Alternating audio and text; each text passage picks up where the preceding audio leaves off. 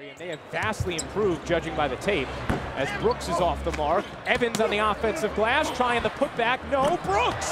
Yes, with the right hand. Yeah, the factor of Evans staying right there, and I like the slice by Brooks. Occasionally, if you have good balance on the floor, you can take a chance as a goal.